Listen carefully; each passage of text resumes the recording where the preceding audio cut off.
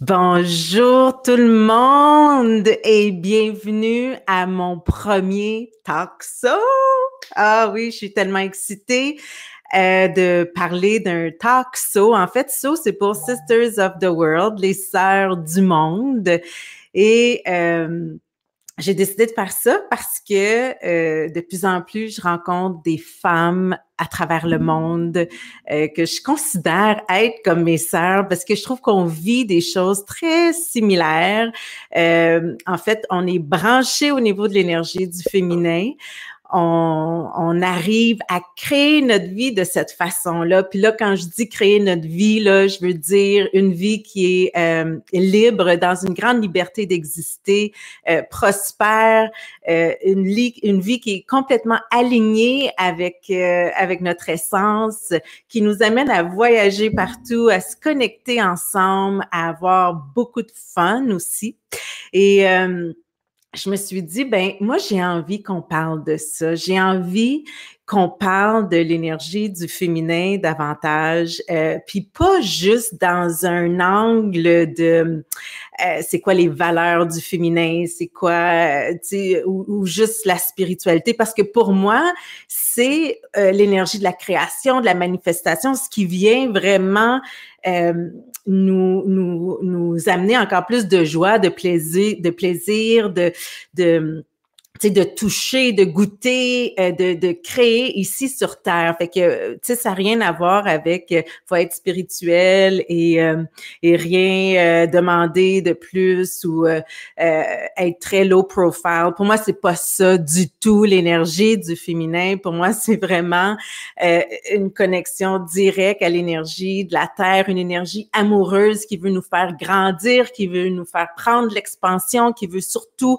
qu'on s'aime comme on est, tu sais, d'apprécier, d'aimer ce qu'on porte, nos talents, notre essence, ce qu'on est venu apporter euh, à la terre, ce qu'on est venu offrir aux autres. Pour moi, c'est ça l'énergie du féminin. Alors, comme j'ai des sœurs partout qui ont des vies intéressantes, des vies stimulantes, euh, des vies euh, riches je me suis dit, moi, je veux raconter ces histoires-là. Je trouve que trop souvent, euh, ben pour ceux qui me connaissent pas, euh, je suis jeune Young. J'imagine que euh, vous êtes arrivé sur cette euh, page-là parce que euh, vous avez entendu peut-être parler du taxo ou peut-être c'est une amie qui l'a partagé ou un ami. Et en fait, euh, dans, dans, je dirais, ma vie euh, depuis les dernières années, j'ai beaucoup travaillé avec les entrepreneurs. J'ai fait ça pendant euh, plusieurs années, à partir de 2001 jusqu'à 2011 à peu près, où est-ce que j'étais très, très active à travailler dans le domaine de l'entrepreneuriat, puis à aider des hommes et des femmes à démarrer leur entreprise. Et L'histoire est que j'ai réalisé après un certain temps, quand je, je rencontrais à nouveau ces magnifiques personnes-là, euh, soit au centre d'achat ou sur la rue, puis que je leur demandais comment ça se passait, les affaires, ben les hommes euh, avaient presque tout le même discours, puis ils me disaient Hey, c'est magnifique, euh, la business apprend l'expansion, j'ai engagé plus de monde, j'ai ci, j'ai ça. Tandis que les femmes très souvent me disait ah non tu sais moi j'ai décidé d'arrêter ça euh, finalement il y avait toujours une raison euh, ça pouvait être mon fils est, malade ma mère est malade mon mari a trouvé un autre travail je peux plus euh, être tu sais dans le domaine de l'entrepreneuriat. Alors, j'ai commencé à me questionner beaucoup par rapport à ça, à me demander pourquoi les femmes, très, très souvent, on mettait complètement de côté nos projets, nos rêves, nos objectifs dans le but de d'être plus comme un soutien ou un support ou même euh, à la limite un sacrifice. On se sacrifiait un peu pour euh, venir en aide aux autres. Et euh, finalement, aujourd'hui, je peux vous dire que je comprends davantage avec encore plus de compassion la raison pour ou les raisons en fait, parce que je pense pas qu'il y en a juste une, mais pour lesquelles souvent les femmes vont pas au bout des affaires. Ce que j'ai compris surtout euh, dernièrement, c'est que la structure, hein, la structure, c'est le masculin, si on veut. Puis tu sais, moi, je sépare pas les deux là, de moins en moins parce que c'est sûr, je veux parler de l'énergie du féminin. Je veux qu'on comprenne ce que c'est parce que c'est puissant, puis parce que tout le monde peut l'utiliser, les hommes, les femmes, puis euh, c'est ça mon, mon objectif. Euh, mais euh, en même temps, ce que je veux, c'est euh, devenir excusez, là, j'ai comme perdu le fil parce que j'ai vu que ma belle Linda, je suis désolée, là, je suis en train de faire le live. C'est la première fois que j'utilise euh, cet outil-là. Euh, j'attendais que Linda puisse se connecter avec nous. Puis euh, là, je pense qu'il y a peut-être quelque chose qui est en train de se passer. Je suis pas certaine. Oui! Linda? Allô? Attends, je te vois pas. Attends un petit peu là, que je te. Tu... Oui! Mais toi, t'es où, là? non, non, attends un peu parce que euh, c'est drôle parce que je te vois pas dans mon logiciel. Est-ce que je me suis rendue visible? Comment tu t'es rendue visible? je vais voir si je me. OK. Tu avais cliqué sur le lien que je t'ai donné, Linda? D'accord. Ben, toi, tu me vois. Est-ce que tu me vois dans Facebook ou tu me vois dans le logiciel BeLive? OK, parfait. Ben, écoute, j'essaie de j'essaie de t'amener ici, là. Attends un petit peu. Là, je j'essaie de voir comment. Ben oui, moi aussi. écoute, c'est bizarre que j'essaie de voir. Euh, ben, écoute, je, continue ma petite histoire parce que je savais pas, euh, ma belle déesse d'amour, si on allait arriver à, se connecter parce qu'on avait des petits euh, pépins de connexion tantôt, mais je suis contente que tu sois là. Good.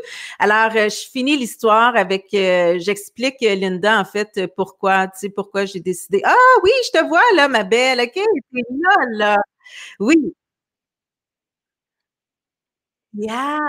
Alors moi, je parle comme si tu étais là, live, mais tu ne l'es pas encore. Alors, ça s'en vient. OK. Mais là, tout le monde, en tout cas, vous, avez, vous savez, Linda s'en vient.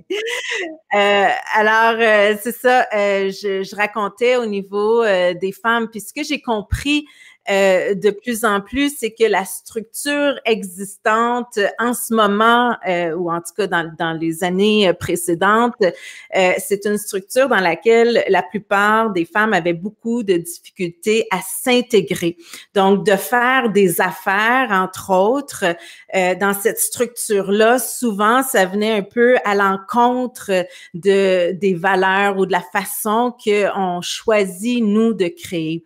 Donc, euh, mais ce qui est super intéressant, c'est que c'est possible de, de, créer notre vie comme on veut la créer sans suivre cette structure-là qui a été créée par le masculin, qui est utilisée depuis des siècles, mais qui est en train de changer. Moi, je rencontre des femmes partout dans le monde qui euh, n'utilisent pas du tout cette structure-là pour créer leur vie, créer les affaires. Tu sais, moi, je dis aux gens, je sais même plus quand est-ce que je travaille ou quand est-ce que je suis en vacances, tellement que ça devient euh, c'est ma vie à moi qui devient aussi mon travail, puis mon travail qui devient ma vie. Donc, c'est un, c'est comme un merging, c'est comme une, une, fusion de tout ce que je suis puis que j'ai envie d'offrir au monde. Alors, euh, c'est ce que je veux inspirer euh, le plus de, de, personnes à faire. Puis ça, là, je vais parler d'histoire de femmes parce qu'on a rarement vu des femmes, euh, ben on a rarement, en tout cas, on n'en parle pas beaucoup, des femmes que je pourrais nommer self-made. Donc, des femmes qui, au lieu de, de suivre une structure ou un modèle, choisissent vraiment de s'aligner à leur essence et de créer leur vie selon qui elles sont. Et il y en a plein partout dans le monde. Puis je pense que ça, ça va inspirer, puis ça va donner confiance, puis ce sera comme une, genre de fondation, un, un genre de, de, de, de j'ai envie de dire filet de sécurité pour que peut-être plein d'autres femmes choisissent finalement de suivre cette direction-là qui est beaucoup plus aligné avec avec ce qu'on porte, avec la grandeur de qui on est. Alors aujourd'hui, j'ai le plaisir de recevoir euh, la belle déesse, ma belle amie, ma belle, euh, en fait, une interprète, auteure, compositrice qui est magnifique, que j'adore, qui est Linda Tally. Alors je la, je vous la présente et je l'amène ici à l'écran avec moi. Euh, Belle Linda. Allô? Yes! Mais Comment quelle vas-tu? présentation, ma Ah. belle d'amour. Mouah! Moi aussi, je suis contente de te voir. Et merci d'être là pour mon premier talk show. Hein? Yes. N'est-ce pas? Magnifique, j'adore ça. Talk show, je trouve tellement que, que c'est euh, coloré, mais en même temps que c'est mignon, puis que ça a toute sa, sa raison d'exister avec les Sisters of the World. Merci d'accepter de venir euh, partager. Hein, C'est magnifique. C'est magnifique ce qu'on va broder ensemble, les Oui. femmes. Euh, Yes. le talk show, c'est c'est dans le c'est- Oui, exactement. T'aimes mon décor, tu vois, mon, hein? avec mon, mon micro super professionnel. Écoute, euh, j'ai travaillé là-dessus. You are ready. I am, I am ready. Et je suis contente de tout ça. Écoute, euh, c'est magnifique. Alors, euh, belle Linda, j'ai envie de commencer avec toi pour euh, te demander, euh, c'est quoi euh, pour toi la définition du féminin ou de l'énergie du féminin? L'énergie de la création, Mhm. euh, l'altruisme, Hmm. euh, c'est la connexion au divin. Ouais. J'ai toujours senti l'énergie du féminin, c'est ce qui est connecté vers le haut, et Ah. l'énergie du masculin, c'est ce qui était vers l'incarné. OK. Donc, c'est de là l'espèce de, de- de- de complémentarité, mais on, on a tout le temps l'équilibre, le déséquilibre en nous euh, du féminin et du masculin, et il faut, le, faut célébrer ça. Et c'est ça, le féminin, c'est ce qui connecte au divin. OK. Ben, écoute, moi, je pense qu'on a, on a chacun et chacune notre définition, puis c'est parfait. Puis c'est pour ça que je vais faire cette émission-là aussi, pour que on puisse euh, partager euh, notre façon de le vivre, notre façon de, de l'incarner aussi. Et euh, l'autre question pour toi, ma belle Linda, ce serait, mais comment tu fais pour justement l'intégrer, cette énergie-là, au féminin, au, euh, au quotidien? Ben oui, le féminin au Le quotidien. féminin au quotidien? Ouais, Oh, ouais. Ça, c'est tellement un beau titre, le féminin au quotidien. C'est vrai, hein? Oui. Ah, attends, je pense que je vais peut-être changer de titre de mon émission. Change pas. Euh, la méditation, déjà. Ouais. La méditation, euh, le rituel du yoni. Euh, il, est, il est toujours là avec moi. Là, il est présentement euh, sur mon cœur ou sinon, il est tout le temps en train de charger sur une géode. C'est quoi ton rituel du yoni? Parle-nous-en un peu. C'est quoi ça? Ben, le, le yoni, euh, c'est euh, ben, c'est toi qui m'as initié au yoni, donc euh, tu vas pouvoir en parler beaucoup plus que moi. Euh, c'est ce, ce, ce quartz que l'on introduit en soi Mhm. et qui, et qui va faire un travail à la fois de connexion à la terre-mère Mhm. avec nous, avec Mhm. notre intention. Euh, mais dans mon cas, il est allé faire un nettoyage aussi. Hmm. Un, nettoyage du passé, un nettoyage euh, des anciennes, c'est des anciennes façons de procéder et une acceptation du nouveau modèle que j'ai à dessiner de par moi-même. Ouais, c'est bon. Magnifique. Vraiment. Parce que je pense que ça, ça fait aussi partie de, des étapes pour connecter avec l'énergie du féminin. On a souvent à faire un certain nettoyage, comme tu dis, ou une guérison. On pourrait peut-être parler de, de Oui. guérison et de compassion, hein, parce que je pense que il y, a- il y a comme des étapes de, de guérir ce qu'on porte, puis après d'avoir beaucoup de compassion pour tout ça, pour tout ce qui a existé, pour tout ce qui a déjà été. Est-ce que tu dirais que euh, l'écriture de ton livre, est-ce que ça, ça le fait partie de cette, euh, ce processus de guérison-là pour toi? Le, le- tu parles du livre euh, de, de, de mon autobiographie? Oui, ton autobiographie. Oui, Oh mon Dieu, le processus Écoute. de guérison a été entamé en 2011 avec euh, le livre euh, Survivre au naufrage. Oui, oui. ça a été énorme. Ça a été énorme ce travail-là. Je ne sais pas si je serais prête à euh, un peu plus tard, peut-être dans ma vie, euh, écrire la suite, le sequel. Mais Ouais. ça, ça a été un exercice super important de, de réalisation de où j'étais Hmm. euh, par rapport à où je, je comptais aller. Mais Oui. depuis, ça a complètement chaviré. Je, je pensais m'en aller en quelque part, puis là, vraiment, je suis en train d'y aller maintenant à tâtons, puis j'ai accepté que ce soit à tâtons. Eh, c'est bon. J'ai Oui. accepté vraiment un pas à la fois, vraiment un jour à la fois. Avoir, oui, de la compassion envers soi avant toute chose, parce que de la compassion envers les autres, et que c'est facile, c'est plus facile que d'en avoir envers soi-même. Pardonner aux autres, même si on, le mot pardonner, ça nous place dans un espèce de, OK, je suis, I'm right and they're wrong. Ah ouais, exactement. c'est plutôt euh, de se pardonner à soi-même. Mhm. Parce que les autres n'ont pas eu tort envers nous. On, Mhm. on décide de ce qu'on attire.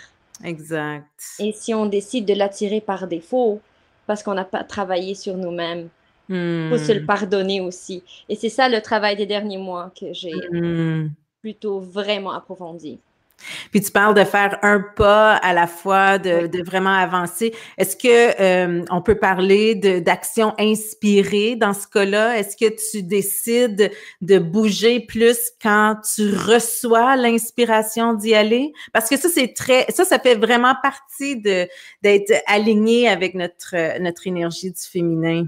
Ah oui, mais je n'ai pas le choix que de passer à l'action. Euh, je, je sais, parce qu'on en a déjà parlé euh, par le passé, quand on, est, quand on a l'inspiration de passer à une action, moi, ça m'arrive souvent pendant une méditation, Mm. ben, je peux même pas rester dans la méditation. Ouais. faut que j'en sorte parce que sinon, j'ai l'impression, c'est comme des, avoir des impatiences aux jambes. Ouais, exact. Il Ouais, faut que ça bouge, là. Ouais. c'est tout mon corps qui est comme ah, électrique. Ouais. S'il y a une chanson à écrire, il faut que je l'écrive. S'il y a un appel à faire, il faut que je le fasse. S'il y a quelque chose à. S'il y a un endroit à visiter, il faut que j'y aille. Mhm. C'est, c'est plus fort que, mon, que moi-même. C'est mon être qui parle. Donc, euh, Est-ce que ça, c'est récent? Est-ce que ça, c'est nouveau ou tu as toujours créé de cette façon-là? j'ai créé euh, involontairement de cette façon-là. Je ne sais pas si c'est vraiment très, très drôle. Avant, j'en avais pas conscience, mais je le faisais sporadiquement. Et là, maintenant, en ayant conscience, je m'ouvre tellement plus à ça. Je Hmm, suis à l'écoute. Donc, quand le message arrive, hmm. I know, I know Yeah. that I know, that I, Yeah. I know that I know that I know. C'est comme, ah, c'est tellement délicieux parce que je Hmm, le reconnais, le feeling, et mhm. est bref. Ouais, il faut que je le saisisse avant que la Linda, l'autre, là, oui. l'autre Linda fatigante me dise hey, non, non, non, non, non, you shouldn't do that. Non, non, non, tu fais pas ça. Ou non, non, non, tu, comment tu vas y arriver? Ou oh, non, le comment, le pourquoi. le- Non. Avant que cette Linda-là n'embarque, puis elle est très forte. Hein. Hmm, Elle hmm. s'est pratiquée pendant 41 ans. Là. She Ouais. knows her way around me. Alors, avant qu'elle ne parle, il faut que je saisisse cette force-là, cette bonté, hum, ce délice-là. OK, let's go, on y va.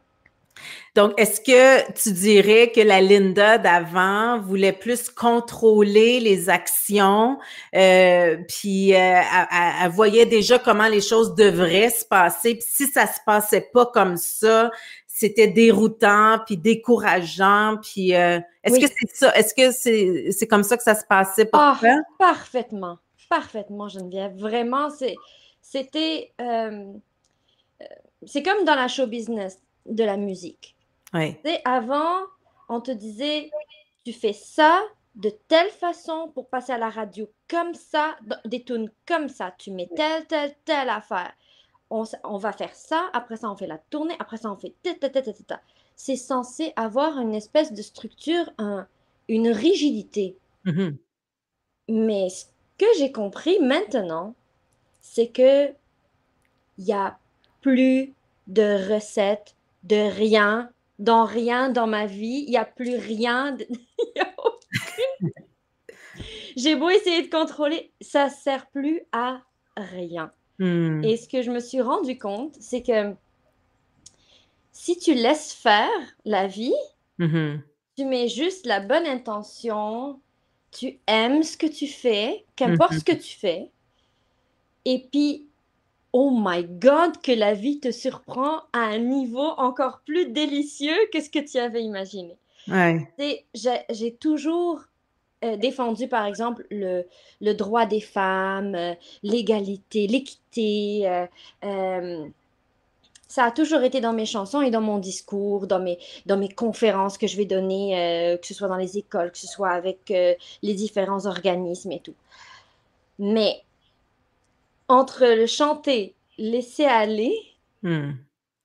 et il y a quelques mois, me faire demander d'aller être la voix féminine euh, dans un show du Cirque du Soleil en Arabie Saoudite. Oui. Être la première femme à Oui. chanter à l'écran comme euh, devant 50 millions de téléspectateurs et représenter la libération, Hmm. être habillée en papillon d'or et Hmm. déployer mes ailes, représenter la femme Oui. dans un spectacle comme ça, Oui. c'est un niveau que je n'aurais pas pu imaginer.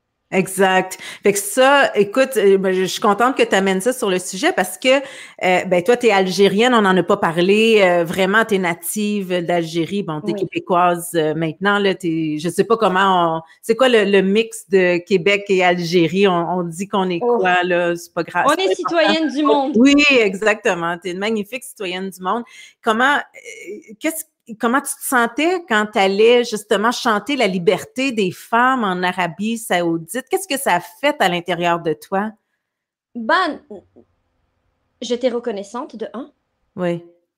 Et euh, quand on m'a dit, tu sais, on, on- c'est c'est toi qu'on veut, il n'y a pas de plan B, j'ai fait Wow, OK, c'est une grande responsabilité. Puis quand j'étais dans le stade, en train de chanter avec les feux d'artifice, je savais que le prince était en face. Hmm. Et je me disais, foutu de foutu, euh, dans des stades comme ça, il y a des femmes qui ont été lapidées. Mhm. Et je me suis dit, ma voix, j'espère, est en train de libérer un petit peu de cette énergie-là Hmm. et rétablir un petit peu de justice Hmm. à ça. Et j'étais tellement reconnaissante. J'ai chanté quasiment le, le dernier, euh, toute la de- dernière partie du spectacle. J'étais, je pleurais. Je Hmm. pleurais parce que c'était trop fort. Hmm. Tout Et par rapport à- symbolique. à toi-même par rapport à ce que toi, parce que là, tu parles des autres femmes, mais intérieurement, pour toi, parce que moi, je trouve que c'est très symbolique, euh, tu sais, euh, de sachant d'où tu viens, sachant ce que tu as vu, ce que tu as vécu, euh, comment les femmes étaient traitées aussi en Algérie. Il n'y avait pas cette libération-là aussi pour le féminin en toi? Ouais. Écoute, au début, j'étais tellement inquiète d'aller sur scène, Hmm. Dans mon espèce de cocon de, de, de, de papillon. J'étais. Mhm. Au début, je, je me sentais un peu seule. Et après ça, après ça, j'ai réellement. je voyais la petite fille que j'étais Hmm. dans ma chambre en Algérie, en en ayant en tête que j'avais les super pouvoirs de Wonder Woman ici, là, et que je pouvais tout entendre. Je me sentais seule, même avec ces, ces images-là. Puis après ça, j'ai pensé à ce que Maya Angela, euh, Angelou disait, Hmm. euh, que quand elle arrivait sur scène, elle avait toutes ces femmes Hmm. euh, tous ces gens qu'elle a rencontrés qui ont été des rainbows Hmm. dans son ciel et euh, qu'elle a amené tout ce monde-là avec elle. Et c'est vraiment comme ça que je suis rentrée sur scène. Je me suis, je, je- je suis restée là et j'étais là. Vous venez tous avec moi. Hmm. On, on est tous ensemble. Vous venez tous, tous, tous avec moi. On y va. On va le faire. On va le chanter together. Puis Hmm. c'est comme ça que ça a été. Les premières notes sont sorties parce que j'ai fait la chienne. Magnifique. Puis, euh, est-ce que tu, tu sais, moi, je dis souvent que le féminin, l'énergie du féminin, ça nous amène justement dans ces espaces-là où est-ce que on n'aurait pas pu contrôler ça. En fait, on n'aurait pas pu organiser ça. Tu sais, moi, je dis ma rencontre avec Oprah Winfrey, ma rencontre avec un dauphin dans l'océan. Ben oui, toi. tu comprends? J'aurais jamais pu organiser ça, ma- tu sais, même si c'est une semence qui était à l'intérieur de moi, c'est un rêve, c'est quelque chose que je voulais euh, Mm. qui se manifeste, mais avec l'énergie du masculin, qui est l'énergie qui veut contrôler, qui veut structurer, qui veut faire des appels pour dire, OK, je veux rencontrer Oprah, comment je peux faire, qu'est-ce que je fais, qui veut tout pousser, tu sais, pour, euh, qui veut, qui veut un peu, euh, je dirais, défoncer les murs pour Oui. y arriver. Puis finalement, il n'y a rien eu de ça pour ce grand euh, événement-là que tu as vécu. Ben écoute, j'ai- défoncé des portes par le passé. Je suis Ouais, allée à grands coups de résistance. Oui. Ça a marché en bout de ligne. Mais Oui. en bout de ligne, Est-ce que tu n'étais pas épuisée? Est-ce que tu étais. Tu sais, il y a plein de femmes. drainée, drainée, stressée, C'est ce que je fun. C'est ça. Tu sais, il y a- y, y plein de gens, parce que je veux pas juste dire des femmes, il y a plein de gens qui arrivent pas à créer dans l'espace de, de structure très masculine pour, Oui. euh, comme je viens d'expliquer, et qui finalement se retrouvent soit à faire euh, de l'anxiété, de euh, des dépressions ou développer des maladies, des maladies. Puis là, finalement, c'est ce qui va le- le- le- leur faire prendre un peu de recul puis décider de connecter davantage avec l'énergie du féminin, euh, soit par le biais de la méditation, soit par euh, toutes sortes de, d'autres techniques qui existent qui peuvent nous amener à faire ça. Fait qu'est-ce que toi, tu sens que c'est ce qui a fait partie de ta vie aussi, puis que là, maintenant, euh, tu, fais vraiment plus le choix de créer à partir de l'énergie du féminin. Absolument. Écoute, je, je suis arri- j'étais arrivée à un moment donné à un shifting point. Hmm, J'avais pas le choix. C'était Mhm. soit ça ou dans ma tête, j'étais en train, ou sinon j'allais mourir. Il hmm, y a une nuit où j'a- j'ai réellement eu l'impression que j'allais mourir ouais, et j'avais pas le choix. mhm, Fallait que je fasse quelque chose et j'avais fait une écoute méditative hmm, que l'on m'avait conseillée à l'époque, et de ça quelques années, c'était il y a sept ans. Et j'ai écouté, j'ai fait des écoutes successives toute la nuit. hmm, Et j'ai eu vraiment l'impression que c'est ce qui avait sauvé ma vie. hmm. À partir de là, comme on dit, there's no turning back. C'était juste d'aller de l'avant et d'être de plus en plus dans l'énergie du féminin et de l'accepter. Bon, il va y avoir des moments de stress, des vagues qui vont, mais l'accepter. L'accepter, surfer avec, mais revenir plus rapidement et être moins dans la résistance. Puis, Maudine de Maudine, avoir du fun dans sa vie. Ouais. Faire les choses par plaisir. Si tu, comme il le dit Eckhart Tolle, si tu le, si tu le fais pas par enthousiasme, par plaisir, faut que tu l'acceptes au moins. Faut que tu sois dans Mm. l'énergie de l'acceptation. Et là, Ouais. sinon, autrement, tout est dans l'ego et tout, tout est dans. On dit pas que le masculin c'est pas bon. Pas du tout. Quand il y a le temps de passer Je- à l'action, Puis même qu'en début, en introduction, tantôt, tu sais, j'expliquais que j'aime pas séparer les deux. Mais pour euh, parce que pour moi, en ce moment, mon masculin soutient beaucoup mon féminin. Tu comprends? oh, J'aime, j'aime avoir des structures. Quand, quand mon inspiration, elle est très claire, quand j'ai cette clarté-là à l'intérieur de moi, après, j'embarque dans ma structure, je fais les appels, je fais, bon, bon, euh, la fluidité, les, les projets sont beaucoup plus faciles à réaliser parce que j'ai pris le temps de vraiment sentir ou, ou, ou, euh, recevoir toute l'inspiration de ce que je veux créer. Mais c'est sûr que quand on fait le contraire, c'est-à-dire qu'avant même d'être inspiré, on essaie de mettre en action, oui, et là, on, ça fonctionne pas. Fait que le, le masculin, il faut que ce soit là. Il faut les deux pour que la création puisse se manifester. Puis, comme tu dis tantôt, c'est c'est l'équilibre des deux qu'on cherche constamment à, à venir intégrer dans notre vie pour faciliter, euh, sais, notre, euh, notre incarnation, si on veut, ou en tout cas notre fun, ou no- no- notre plaisir d'exister, notre fun d'être ici Ah, Euh, moi, j'ai envie d'inviter les gens parce que là, je vois pas vraiment, euh, je, je suis pas encore très habituée avec ça, mais si vous avez des questions pour Linda ou pour moi, ben on vous invite là à les noter, à les inscrire ou juste nous faire un petit coucou. Ça va nous faire plaisir de vous voir et de vous lire. Et euh, je voulais aussi, Linda, qu'on parle. euh, parce que pour moi, ça fait aussi partie de l'énergie du féminin, euh, qui est le langage de la vie. J'appelle ça le langage de la vie. J'appelle ça les signes, les symboles, euh, tout ce qui vient euh, nous raconter un peu l'histoire, soit à partir de notre corps ou, ou même à l'extérieur de notre corps pour venir nous dire, hey, porte attention à cette chose-là. Regarde ça profondément. Et je trouvais que tu avais une belle histoire qui s'est euh, produite pour toi euh, au Rwanda, que je voulais qu'on qu'on oui. juste, en parler parce que des fois, je trouve qu'on est à côté de ces signes-là ou de ces symboles-là qui viennent nous enseigner quelque chose. Et euh, pour moi, tout ça, ça fait partie aussi euh, de l'énergie du féminin, d'aller s'introspecter, d'aller comprendre de l'intérieur qu'est-ce qui se passe, qu'est-ce que la vie veut me dire, qu'est-ce que mon corps veut me dire? Oui. Oui, vas-y, raconte-nous cette histoire. Écoute, non seulement la, vie nous donne des signes, non seulement notre corps nous donne des signes, mais il faut qu'on apprenne, j'aime pas le il faut, là, mais ouais, écoutons donc aussi, faisons confiance à notre interprétation. On mm. dirait qu'on on accepte quand les, les autres personnes interprètent ce qu'on est en train de vivre et, les signes. Or, notre instinct nous parle aussi énormément.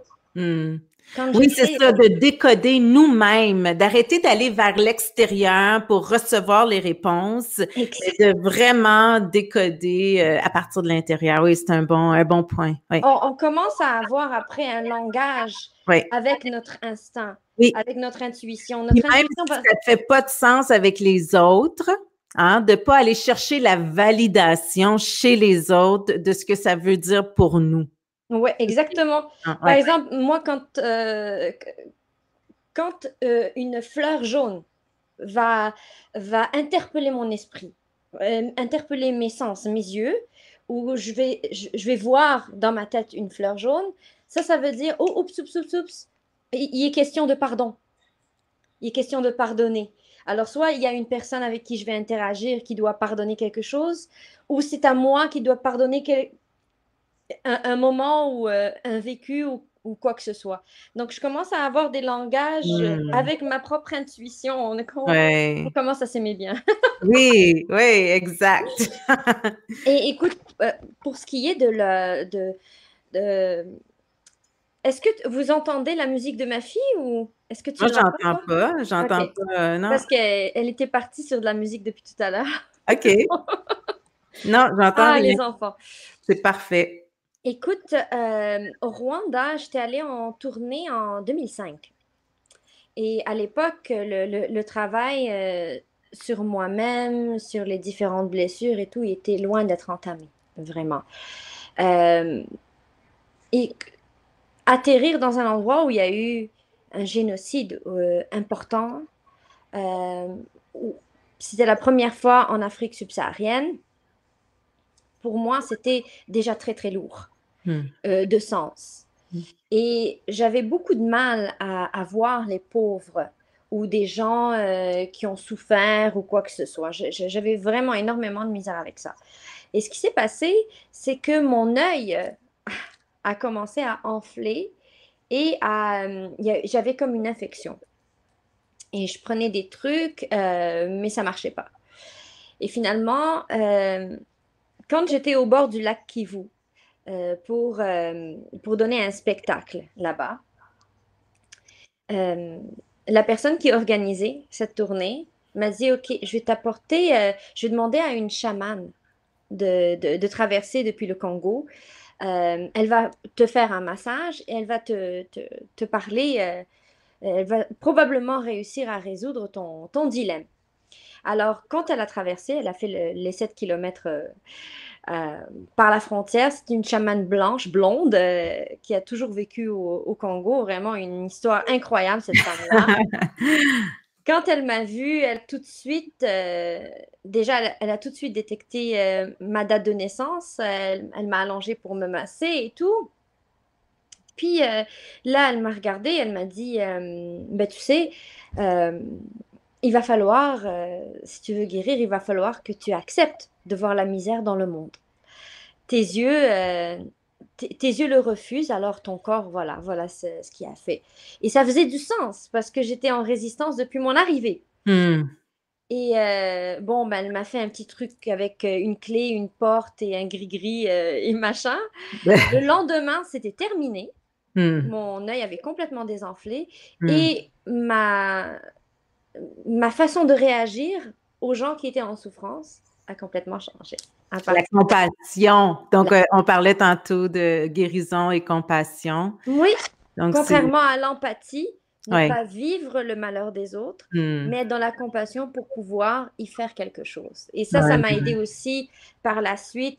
Quand je l'ai entendu, on était en séminaire, euh, on était allé voir Abraham Hicks. Oui. Et euh, Esther Hicks avait parlé de la compassion versus l'empathie. Et ça avait fait encore beaucoup plus de sens pour l'intégrer dans mes cellules, pour hmm. l'intégrer vraiment, pour que la maman que je suis puisse vraiment l'approfondir et pouvoir travailler avec. Et à partir de ce moment-là, aller dans les camps de réfugiés travailler avec les enfants réfugiés. Après ça, au Sénégal, travailler avec les bébés abandonnés. Avec là, ça, ouf, beaucoup plus de légèreté. Et là, je suis capable de faire quelque chose sans m'apitoyer sur mon sort. Là, tu as quelque chose à donner. Oui, ça part pas de. Tu n'avais rien à donner quand on, quand on voit les autres, euh, puis on a l'impression qu'ils font pitié, puis que c'est pas drôle, puis que, tu sais, on, on peut rien donner dans cette, euh, dans ces euh, situations-là. Écoute, je, je, je, veux qu'on parle rapidement de Sœurs du Monde. J'ai le magazine ici à l'écran. Alors, je suis très, très heureuse, Belinda, que tu acceptes de faire partie de l'équipe des 12 Sœurs du Monde qui euh, se rencontreront à Sainte-Thérèse le 29 euh, septembre. Tu vas y prêter ta voix et euh, d'autres magnifiques histoires qu'on pourra apprendre encore plus avec toi. Puis aussi pour être inspiré par ton histoire de, de créatrice par ton histoire de femme euh, du monde, femme chanteuse, femme interprète, femme compositrice qui crée sa vie euh, à sa propre manière, très, très alignée sur son essence. Alors, euh, merci, j'apprécie tellement, je suis contente de ça.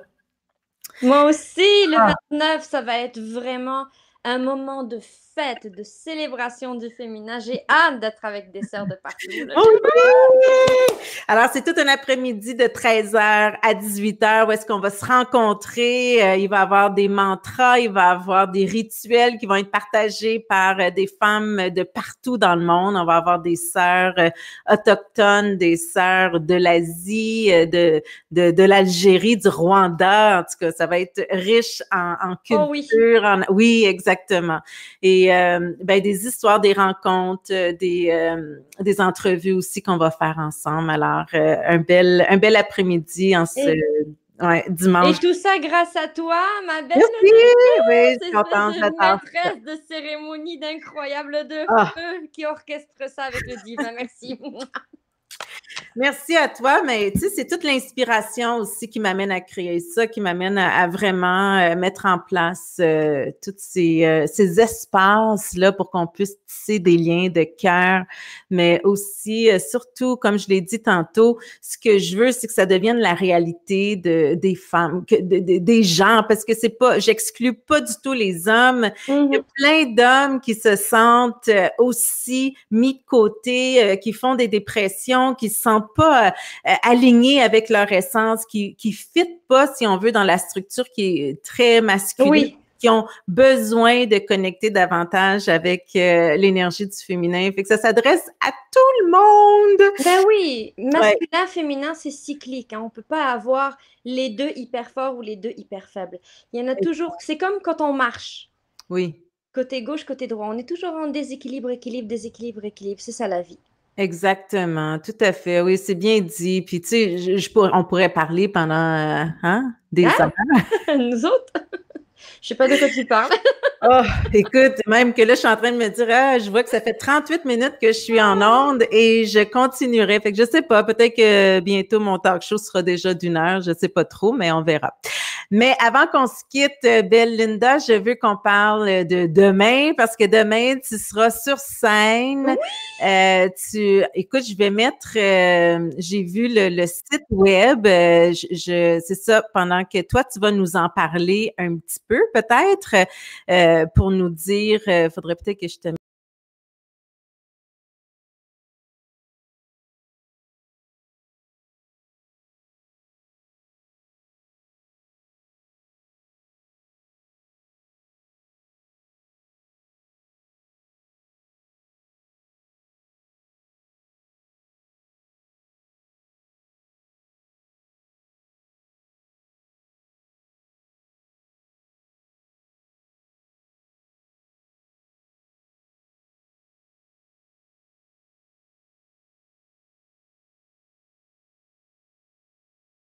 Ah, OK, excuse-moi. Linda, Non, non, je c'est suis bon. désolée. Tu m'entendais pas.